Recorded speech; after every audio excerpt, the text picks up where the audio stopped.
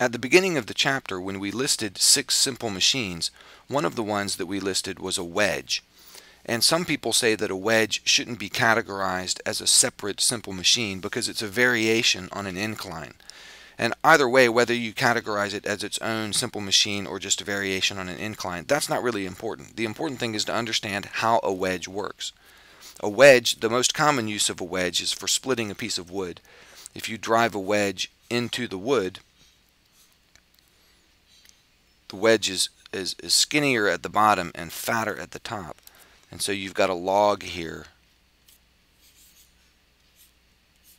And you're trying to split this. Say you need to split it for some firewood.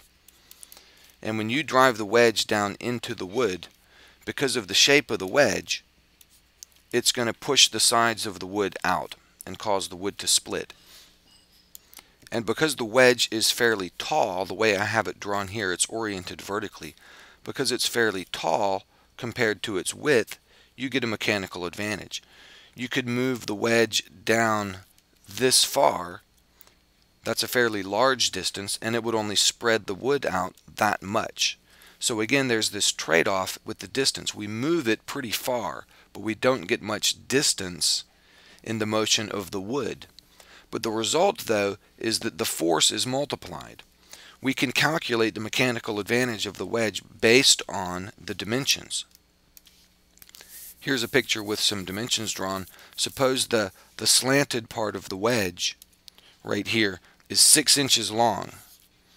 So if we drive the wedge down 6 inches, it will go from a width right here at the tip of essentially 0 to a width of 2 inches up at this point.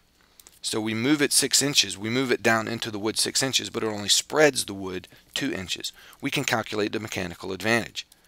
6 inches divided by 2 inches, that obviously comes out to 3.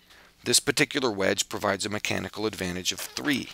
So whatever downward force we're applying to the wedge, we're multiplying that force by a factor of 3 the outward spreading force that actually causes the wood to split. So this wedge provides a mechanical advantage of 3 based on its dimensions.